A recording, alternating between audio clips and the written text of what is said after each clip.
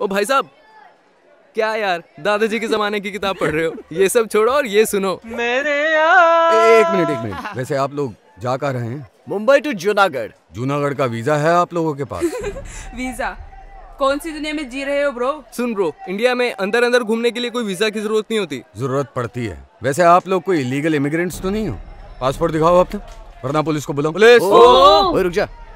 By the way तेरा passport किधर है? सरदार पटेल। जी ये नहीं होते ना? तो आज इंडिया छोटे छोटे पाँच देशों में बटा होता और हर देश में जाने के लिए आपको वीज़ा लगवाना पड़ता। कैसे? जब भारत आज़ाद हुआ था ना तो 562 प्रिंसली स्टेट्स में डिवाइडेड था। किसी को अलग देश बनाना था तो किसी को पाकिस्तान के साथ जाना था। जरा सोचो अगर आज हमारे देश के बीचों बीच पाकिस्तान का झंडा फहराया जा रहा होता तो पर अपना बंदा भी सख्त था। देश को यूनाइट करके ही माना वो।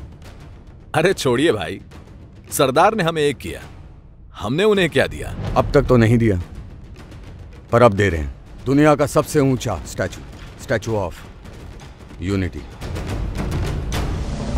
Statue of Unity Gujarat में बनी विश्व की सबसे ऊँची प्रतिमा की नींव रखी थी। नरेंद्र मोदी जी ने 31 अक्टूबर 2013 में और इसका लोकार्पण होगा 31 अक्टूबर 2018 को सरदार सरोवर डैम गुजरात से। भारत का टूरिज़्म बढ़ेगा देश और दुनिया में भारत की शान बढ़ेगी और हमारे महान सरदार आने वाली पीढ़ियों को ऐसे ही प्रेरित करते रहेंगे। सबसे ऊँचा सबसे शानदार। स्टैच्यू ऑफ़ यूनिटी अखंड भारत के प्रणेता को राष्ट्र की सर्वश्रेष्ठ श्रद्धांजलि।